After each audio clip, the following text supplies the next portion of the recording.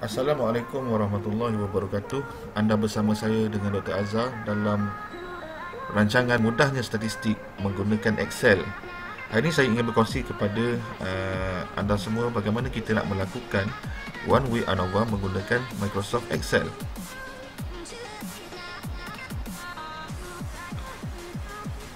Baiklah, sebelum kita meneruskan uh, aktiviti tutorial tersebut, saya mohon kepada anda jangan lupa untuk like, share dan subscribe YouTube channel Dr. Azhar untuk saya berkongsi dengan lebih banyak lagi ilmu-ilmu yang bermanfaat dengan anda dari masa ke semasa. Tahukah anda apakah itu ANOVA? ANOVA adalah satu analisis statistik yang digunakan untuk menguji perbezaan di antara kumpulan.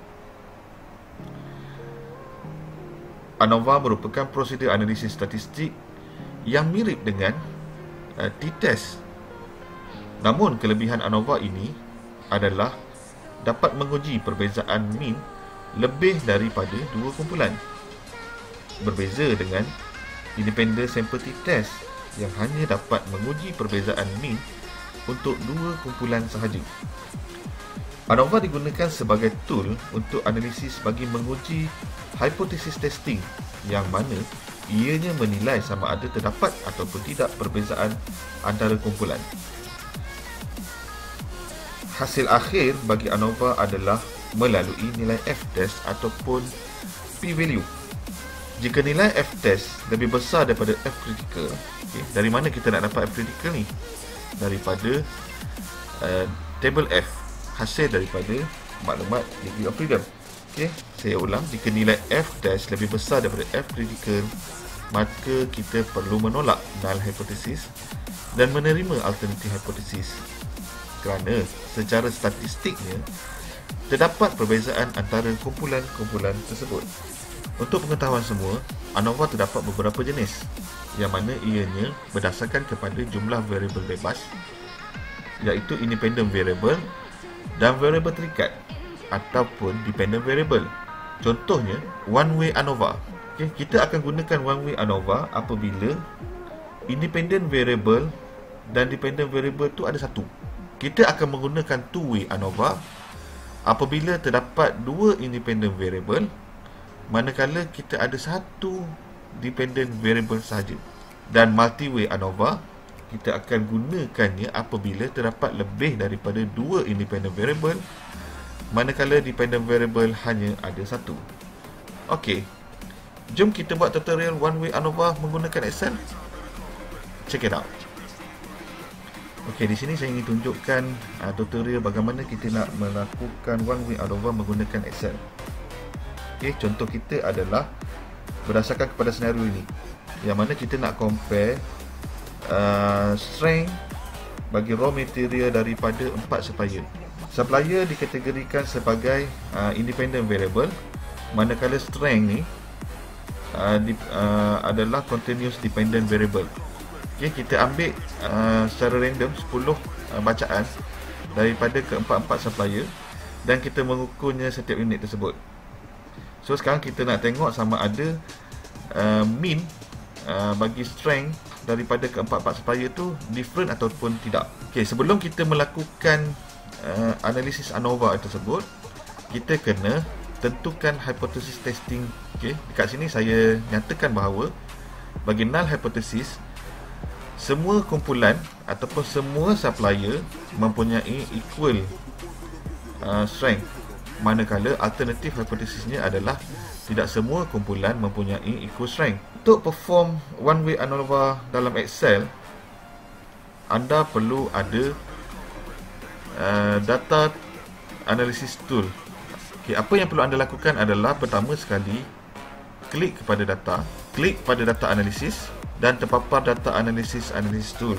Okey, analisis tool terdapat banyak analisis kat sini kita pilih ANOVA single factor dan klik OK di dalam uh, input range ni anda perlu select semua ni okay. dengan group by adalah column tick label in first row sebab kita ada perkataan nama kumpulan tersebut. Okay, so strength 1, 2, 3 dan 4 Excel menggunakan default alpha value of 0.05 Kita tengok ni 0.05 di default Di mana ia adalah Biasanya mempunyai value yang baik. Dan alpha ni adalah significant level Biasanya kita pakai 0.05 Seterusnya, pergi kepada output range Letak dulu dekat uh, Tick dulu dekat kawasan kolom ni Dan pilihlah di mana-mana kawasan Untuk anda pamerkan hasil dapatan anda dan jangan lupa klik OK. Okey, sekarang ANOVA telah menunjukkan keputusan bagi keempat-empat kumpulan tersebut.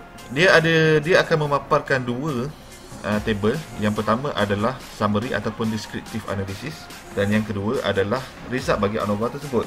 Berdasarkan kepada summary table ni, ia menunjukkan bahawa mean string uh, range okey bermula daripada serendahnya iaitu pada strength keempat iaitu 88.39 manakala yang paling tinggi adalah 112.03 daripada uh, strength 1 ataupun supplier 1 so bila, bila kita tengok dekat sini kita akan dapati secara secara generalnya okay, setiap sampel kita ada perbezaan okay. kita tengok supplier 1 112 supplier 2 89 supplier 3 106 manakala supplier keempat 88 walau bagaimanapun kita perlu mengenal pasti uh, betul ke tak terdapat perbezaan hasil daripada uh, analisis ANOVA tersebut. Dalam uh, table ANOVA kita dapati bahawa nilai F uh, test adalah lebih besar daripada nilai F critical. Bagaimana kita nak dapat F critical ni? Kita boleh tengok daripada degree of freedom dan juga 0.05 okay, uh, alpha. Dan kita akan bandingkan. Berdasarkan kepada teori yang pertama kita kita hujah tadi sekiranya nilai F test lebih besar daripada nilai F critical bermaksud kita perlu reject null hypothesis dan accept alternative hypothesis yang bermaksud tidak semua supplier tersebut mempunyai mean yang sama. Cara kedua pula adalah kita melihat nilai p value, okey. Sekiranya nilai P value lebih kecil daripada nilai alpha 0.05 bermaksud kita perlu reject null hypothesis dan accept alternative hypothesis. Terima kasih. Alright, jangan lupa like, share dan subscribe YouTube saya Dr. Azhar. Bye.